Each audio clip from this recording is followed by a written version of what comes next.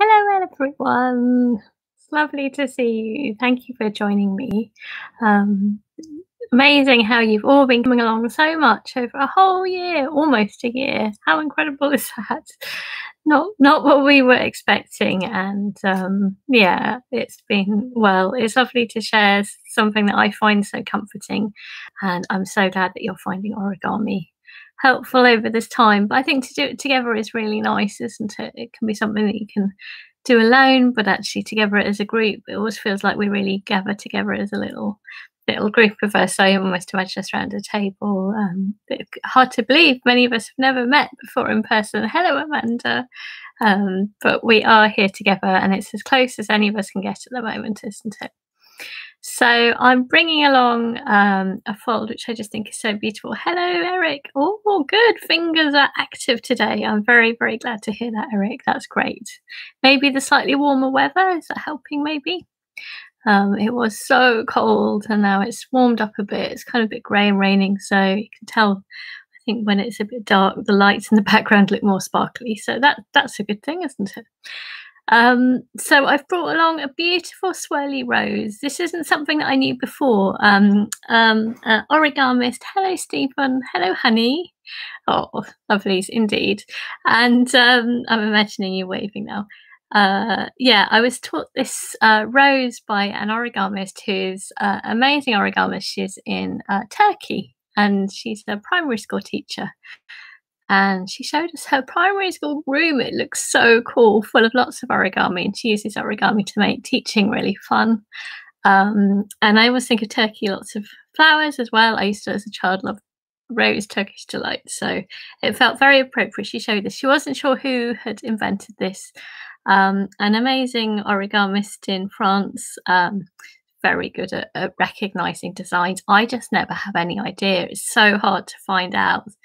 So this seems to be there seems to be potentially quite a few different people who've who've been doing folds similar, but possibly from Emiko Suzuki. So seems to be where it's come from. Um, it's really lovely. Ah, your classroom is full of origami. Oh, Amanda. I think these have to be the best teachers who involve that. That's wonderful. Hello, Deborah. Hello, Penny. Thank you for joining us a lovely, lovely regular group. And I know lots of people also joining with these videos afterwards as well. They're all really um, uh, very much uh, thinking of my colleagues at UCH, which is the hospital that I work. and at the moment, obviously working remote. So it's my efforts to reach out to my colleagues through this, but it's very much for everybody, and it means that we're all here together. We're showing their showing them support. Um, it's the irony, isn't it? When things are, are really full on, that's when you you most need time for well-being, and of course they, they're not going to have the space and time. But all I can do is kind of keep sharing and keep offering. And I have heard from colleagues who've been enjoying it and using it, and even if it's sometimes just the pictures, can just bring a feeling of joy I really love this rose because actually, when Seda showed it to me, uh, folding it's quite it's quite kind of mm, quite kind of geometrical, and then the swirl just changes everything, and it just made me think of spring. So I thought this would be really really lovely to save it to this point. Hello, Wendy, welcome. I thought it'd be really lovely to save it to that point. Um, I don't know about you, but I've been I think everyone I know is really struggling at this point. I think it's been it does feel like almost a year of kind of enforced prison. It's not quite, it's not as bad as that, but it's not easy. So I think just, I think everyone's quite fragile at the moment. So we just need to make extra efforts to be extra kind to each other. I guess extra understanding when people are less so as well. I don't know, but um, I think we're all, I think we're all quite vulnerable, and hopefully the origami's a nice way of just just looking after ourselves seems like 10 years, gosh. it really does feel like a, if I'm thinking last year, I think it was either end of February or start of March, and I was taking part in a science festival. We're all touching pencils, colouring in pencils, all packed into a little room, and it's just, it's, I can't even imagine that now, can you? I remember I started refusing to shake people's hands, which they thought was very odd and not very friendly, but um, I don't think we should be anymore. Um, in an effort to help. But uh, thank goodness they're okay. So we just have to be thankful and science will will will help. It takes time, but how extraordinary to have you know, for scientists working so hard across the world to help us. Anyway, I've been nattering enough. I usually chat for five minutes just because it helps. Um, miss the hugs. Mm, big hugs, Eric. Hug a toy, as I know it's not the same, is it? cushion. It's really not the same. but that's all we can do. Maybe we have to hug ourselves for now. It will get better. we have to believe that it will. Vaccines have been possible, so that that's the biggest thing. Yeah, feel more anxious again coming out of yes. Will we lose everything we've enjoyed? Oh, that, that's good that you've been finding the positives. I reckon in in many ways, at least it will mean things like meeting with people or groups can take take place this way. And I think that's a great thing, isn't it? That we don't have to travel all over the place all the time. How tiring that can be. So uh, I'm sure that will produce a long term change, which will be a good thing for the environment and good for our well being. So we have to keep keep hold of the good things. Right, let's uh, move my laptop over. You can see how dark it is with the sparkly lights. I'm going to grab myself a board, grab something to press on. If you're at a table, or maybe you've got a little magazine or a board, we're going to make, we might as well make a nice big rose. Yeah, going back into school, that, that'll be strange, won't it? Well, we're not quite there yet, so I guess maybe enjoy that we are in this time lockdown. Oh, it's like forever. yeah. So all we can do is value what we have, isn't it? Hmm. So, oh, crimson paper, excellent. I think you can make a red rose for someone. Oh, what a shame we can't get a hug from that. I'm going to take the corner and then line it up. I'm going to do a nice big rose. Um, if it's origami paper, then if you fold it in half in a diagonal with the colour on the outside, I think. I'm afraid I find it quite hard to think about the colour side because I tend to use just copy paper. I'll get rid of this rectangle.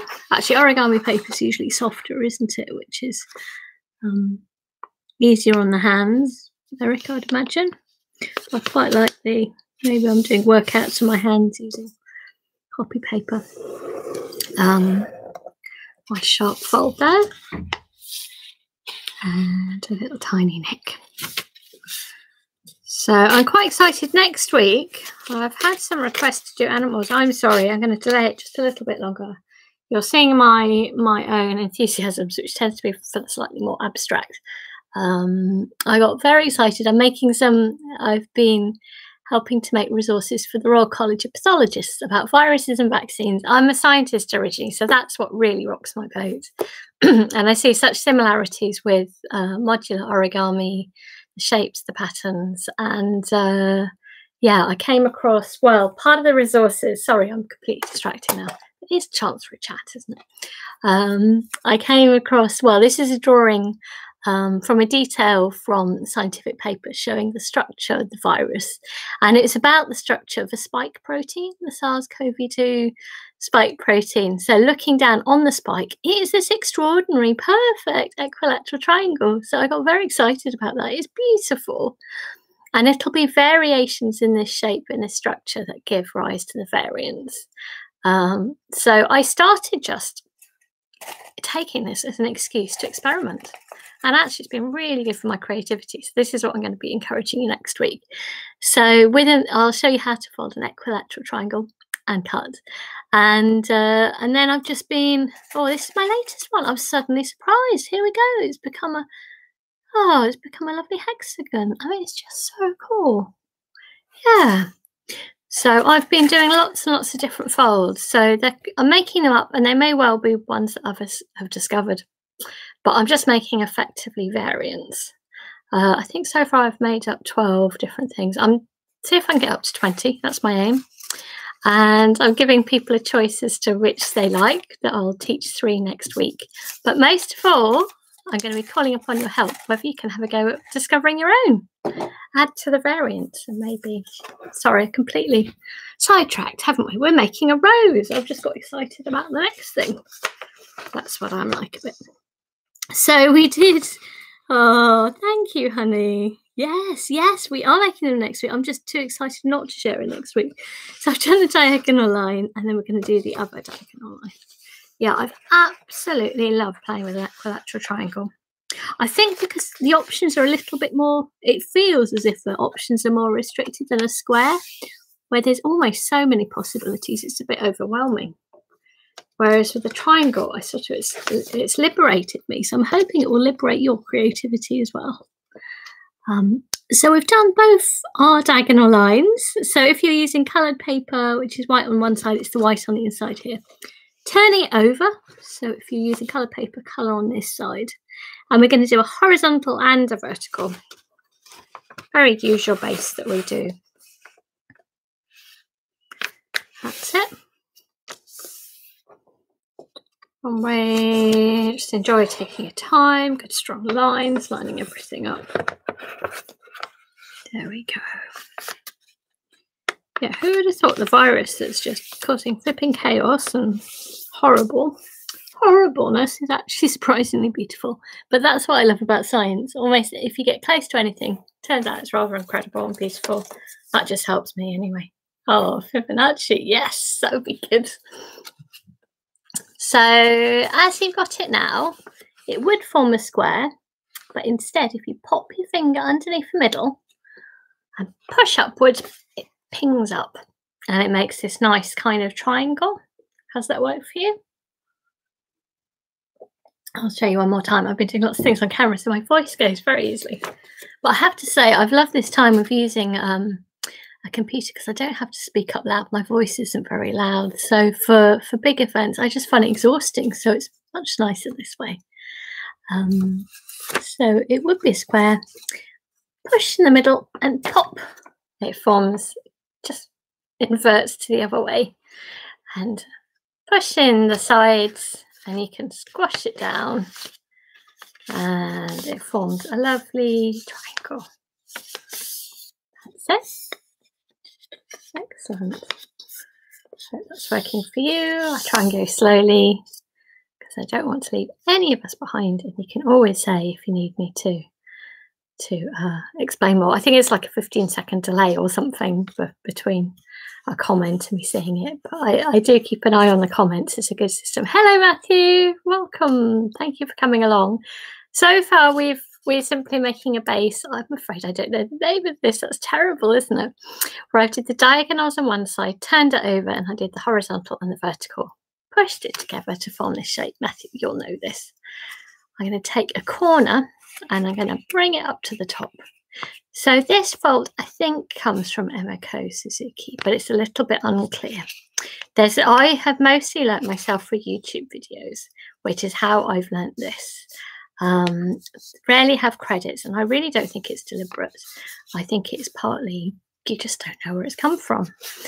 And so I do my best to try and find out, but things also evolve, so it's not it's not always very clear the other corner, which I think is just a testimony to if something's loved, it will get passed on, which I think is quite a nice thing.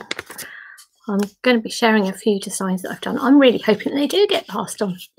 That's my aim. Anyone can use them, and, and it would be lovely if it does happen. That's it. So I'm just bringing up both corners.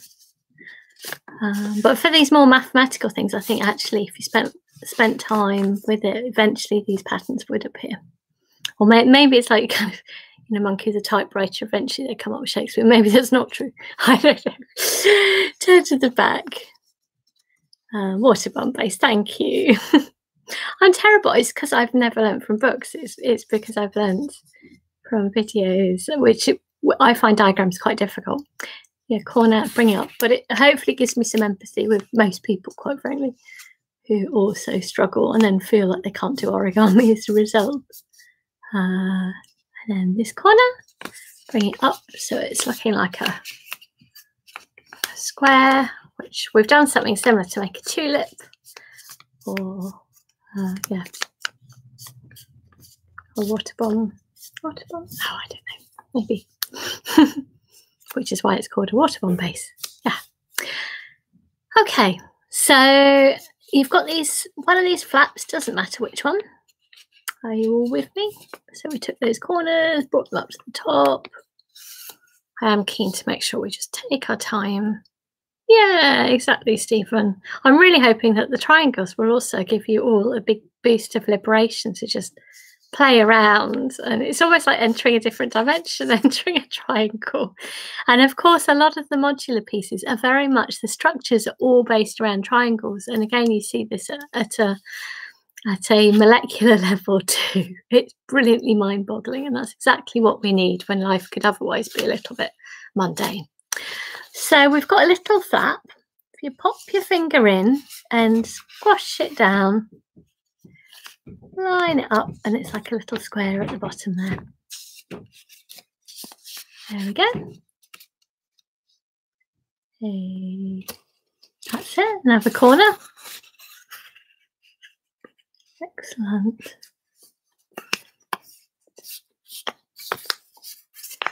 Like so.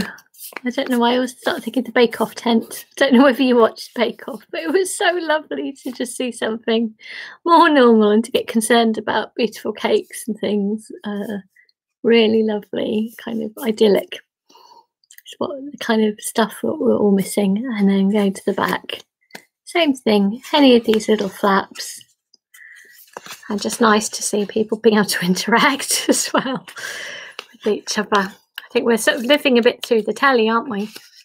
Don't know, a little fat there. Whether you've been watching any of my my partner, we've been watching um, kind of really long series, which has been brilliant. So we watched all of Seinfeld. I've never watched Seinfeld, and it was absolutely brilliant. We're almost watching a few episodes a night. Oh yeah, the kids are, the kids Bake Off is particularly good. Uh, but it's almost like you enter another world that becomes your uh, yeah, your kind of companions for It's really lovely. Uh, again, the same thing. You don't watch Eric, that's impressive. Wow, you must be such a creative person to cope without telly. Yeah, very good. Actually, in hospital, it's people who probably couldn't afford telly. Oh, fantastic. I love Seinfeld, who uh, who would often have to get the most creative actually because in hospitals, generally hospitals don't buy telly for you; you have to hire it. So it means private companies, ah, alas, can charge what they like because they've got a truly captive audience. Um, so it can be quite expensive. So not everyone, of course, can afford that. So uh, it means people who, can't or don't want to, fair enough, um, then have to uh, find their own entertainment, which can mean that you'll be more creative as a result. Oh, brilliant, Eric! You're so good. You're you are brilliant. I admire you greatly. Right, so push down these squares, and our next step is we're going to take the inside flap and we're going to start opening the Bake Off tent and bring it up to the corner. Yeah, I particularly enjoyed the, the children's Bake Off too. We really loved it. Such characters. You know what? I reckon everyone should be allowed to cry when they get voted out. As an adult, you're meant to go, oh, it's fine. you don't really feel that way, do you? Oh, plus calligraphy. Yeah, you do many things, Eric. That inside flap. And again, bring it up, take your time to the outside. Yeah, actually, what I really liked about the Junior Bake Off, they were really helping each other too. They were really being good friends. That was lovely to see, even though it was a competition. They were caring for each other. Uh, turning to the back. Again, those little inside flap, bringing it up and bringing it to the outside there. That's it. Excellent.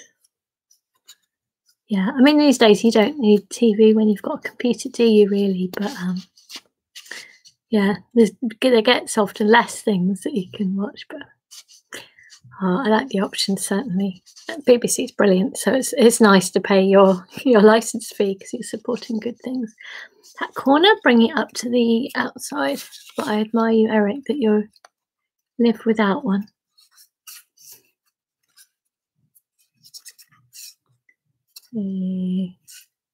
Yeah, it's true. Yeah, you know what? If the internet went down, goodness, how people would have to get creative, wouldn't they? but yeah, we must do this. So I uh, truly did not watch that, and everything would, I think, would collapse if the internet wasn't working properly. Right. So it looks, yeah, it looks like an open tent. There's in the wardrobe. Well done, Eric. so we're going to leaf through a little page and to the smooth side and do the same at the back. And again, going to leaf through until it's smooth, smooth side. So for me, it's like that on the front and the back. And now, rather than taking a flap from the inside, it's taking a flap from the outside and bringing it up to the top. So we're converting it all to become like a little square with a little bit of intricacy at the bottom. So it's all steps in a journey, isn't it? This corner and bringing it up. Uh, there we go. hope this will make you feel that spring will come.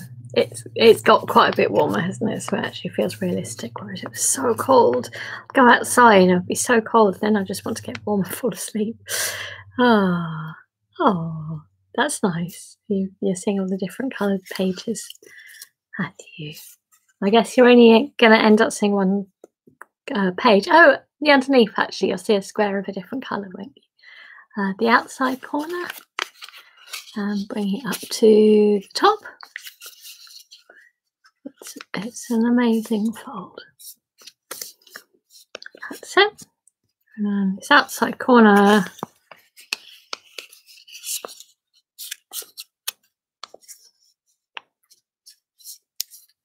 There we go. Lovely. So hopefully it looks like this for you. Uh, is it all coming together? Grab a quick mouthful of coffee. It allows you to also catch up if it's at all. Always keen to go nice and paced. When you get left behind, it's no fun, is it? Stops being fun. okay, so I hope that's that's good for you. And as we've got it at the moment, this will become the nice swirly flower, but we're going to do the underneath of the flower. Great, very nearly there. Uh, and I reckon Eric's quite fast, so I'll take another glug of, of coffee. I think there's always a 15 second delay. Ah, that's good. You've got a drink too. Just coffee for me. um, so this very bottom point, thank you, Eric. You, I always feel like you're the gauge on the whole group, even though, of course, we're all doing it in our own spaces, but we are together. Right. So this bottom corner, faster today, nimble fingers, warmer air maybe. Uh, bottom corner, we're going to bring it up and it fits very nicely between these two shapes. There, like so. We've just lifted up one layer, if I suppose it is a double layer. And then it's like leaves of a book. I think it looks a bit like a boat at the moment. Leaves of a book. Next page, same thing. It's that single leaf, but it's kind of double, lifting it up and fitting between the gaps there. There we go. That's it. The same thing, or we can just turn to the back, press a square, lift up that bottom, tuck it in.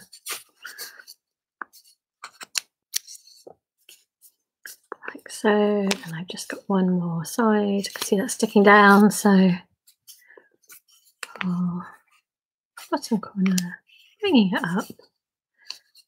So we're very close now. We're almost there. So it should look like this kind of a boat. Not really a boat, but it might be. That's it. Right, next step. I'm hoping so. Oh, there we go. So the very bottom of this, just one side, I'm going to lift up. Right. Hello, Anchor. Oh, that's okay. Oh, yes. Just join in and watch towards the end. Hope you're okay. Oh. So we're going to lift up this side, and you've already been making gorgeous roses, haven't you? So I'm lifting up the side, and it feels all kind of squashed together. But if you can then squash down those triangles on the inside, like so, then it's going to form a little square, and it is a little bit tough. You've got lots of layers there. But you're squashing it to make a square there. So it was folded down like this, and I lifted up this layer. Uh, as I said, it is a little bit tough. Keep persist; it'll be fine. Pull it up, and you have to really push back those triangles, and it squashes down, and it forms a square. That's going to be the bottom of your rose. Is that a different colour for you, Matthew? I don't know. Oh, fingers. Sorry, it's a bit bit thick, isn't it? There. Oh, welcome, Anchor, to this nice, cozy place. Yes, it's the rose. You, yes. So you've made some beautiful ones, really beautiful ones. You know thoroughly what you're doing. Next week's going to be something a little bit different too.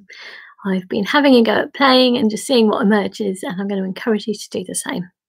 The strangest thing is, I encourage you to join this space as a way of relaxing, you know, away from everything that's happening next week's theme actually comes from the virus itself, that it's a beautiful little triangular shape, the end of the spike protein on the virus. So I found inspiration in places you'd never think, but it is beautiful. And I think that admiration of nature is what also brings us hope. Excellent. Right. So this is the bottom of your rose. So maybe have that as that's lying down. Flat and then the points just bring up so it sticks up. So it's like sticking up like a boat. There we go. So the squares at the bottom. That's it. We got it like that so it's like a little boat. And as you look down there's four little four little flaps. Oh eric was saying his fingers are more nimble sorry jump in eric uh, so you've got these four little little areas, uh, these lines, and I like to put my fingers between each of those and holding the square against my hand. And then the next bit, I'm afraid it's really difficult to show what to do. One person who I did a live event, which Anchor came to, and she was really struggling to do this. And my suggestion was don't even look. that that's almost the best thing to do. It's almost a feeling and a movement. So we're going to add the swirl. So I've got the square against my hand. I've got my fingers between each of those four things. And all I'm going to do is swirl in one direction and just keep moving it round at the center and hopefully I know it really is like um Robert Harbin's title, Paper Magic, isn't it? Hopefully, when you keep swirling, a rose will come out. Sorry, it's really hard to show, but it's the base there and just swirling, just keep going. And it's sort of the square will lift and will curve around. Um, and I love how they'll be very varied. So the ones that you do will look different. It's unique looking. At the moment, it's a little bit angular, the end of the petals. So you can sort of curl them back it really is a wow moment. Is, is this been a new fold for you, Eric? There's quite a lot of sharings of this on the on the internet. It's so beautiful, and I was really glad to learn it from from a person from Seda who is lovely, and she makes little bunches of these roses. Passing on the joy. So rolling these back can give it a little bit more of a bit more of a curviness to it. It's all curvy. Isn't it amazing that just one swirl just changed it? I love how it just sits in your hand really nicely. So it'll be nice as a display. Just the way it sits there. Um, and you could you could obviously add stems to it, or you could do a little wreath with them, or a little heart shaped arrangement, anything you want wearing your hair. uh, they're just beautiful, different colours. Um, I think it could be a really nice gift for someone. I hope your lovely crimson rose, Eric, has has come together. Has it? Has it? Has it worked for everybody? Have you managed to make your rose? For each of these folds as well, I also do record a film, so you can always go to that as well. Um, so, as mentioned, next week's going to be different. Um, I'm a scientist originally, and that for me is where my inspiration comes from. So, this is my drawing of the spike protein of the virus. It's beautiful, isn't it? Isn't that a lovely equilateral triangle? So, I'm going to encourage equilateral triangle folds, and I've shared 10 I've done, one of which I know somebody else has discovered, um, Argentinian um, folder. But I did nine others, which I've shared, and then I've just encouraged people to vote. So these, so out of the 10, these were the most popular. So particularly this one, I think was enjoyed most. I think it does come together very nicely.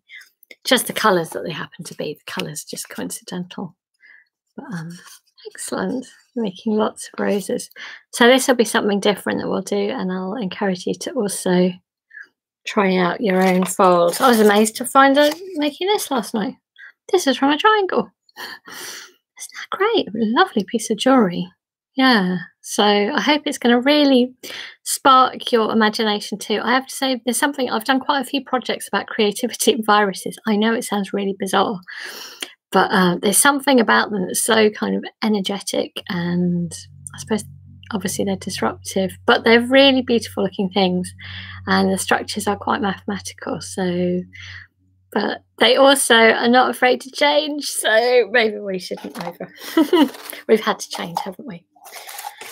So I hope to inspire you with that science and art. So, you know, there's my red and white blood cells in the background. Um, that's generally what I do for my own artwork is about the body.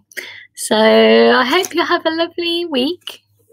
Look after yourselves, keep safe, keep up. Uh, yeah, everything you can do. Look after your mind. That's all you can do, isn't it? How you're feeling is so important.